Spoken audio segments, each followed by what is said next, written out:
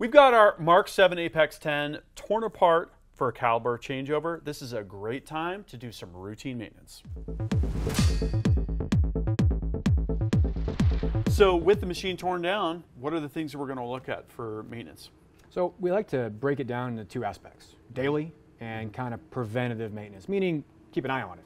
Mm-hmm. You know, greasing these machines is not a daily thing. They retain grease pretty well, sealed bearings, you know, we like to think they do their job for a long time.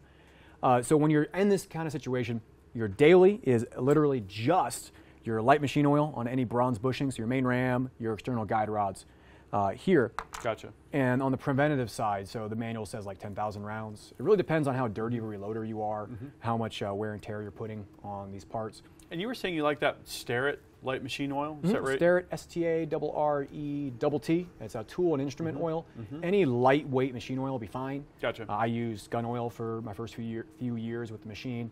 Uh, as long as it's pretty light and it mm-hmm. spreads well.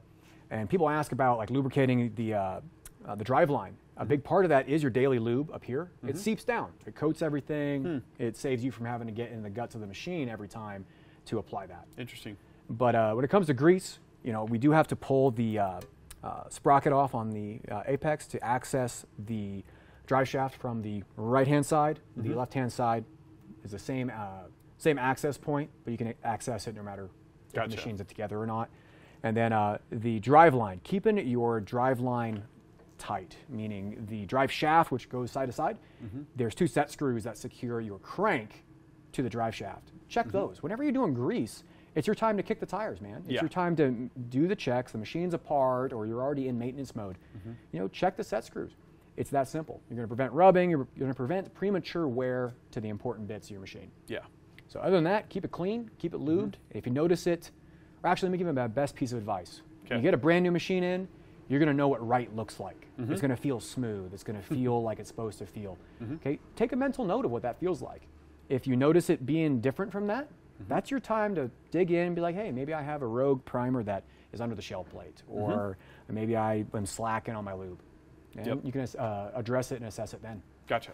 Yeah. About every 10,000 rounds, you should be digging in and at least looking to make sure you got grease where you're supposed to have grease. Yep.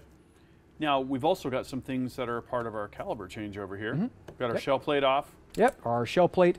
Uh, I like to put grease uh, always towards the center. I don't want grease where my cartridges are being made. Right. You know, I don't want to get that in the mix with powder, primer, etc. Yeah. So I keep it towards the center, and that'll naturally spread out. You know, it might be a little stiff when we first get it put together, mm-hmm. uh, but it'll spread out, do a great job. And then same thing with our shell plate nut. Gotcha. And a quick little tip for everybody is when you're doing this, I like to keep grease out of my workspace and workspace out of my grease.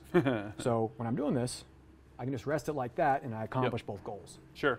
Uh, one thing I forgot to mention is grease also goes around your uh, wave spring around the center of the ram. Oh yeah. That provides a little bit of upward tension on the shell mm-hmm. plate, gives it that nice smooth rotation.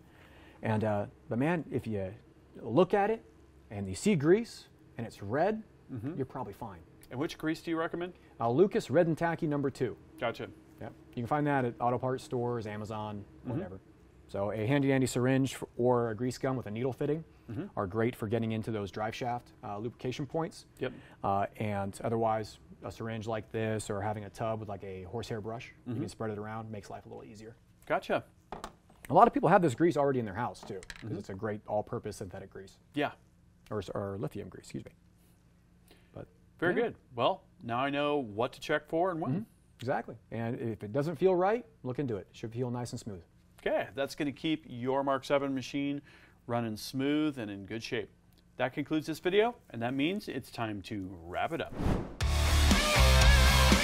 I hope you enjoyed this video. Don't forget to like and subscribe. Also, we're on Facebook, YouTube, Rumble, where we've got unrestricted content, and Instagram. Make sure to follow us on all those channels. Ultimate Reloader also has a commercial solutions division serving law enforcement, the military, and the gun industry. We have some unique capabilities, including a comprehensive suite of recoil testing and evaluation capabilities, trigger profiling, and more.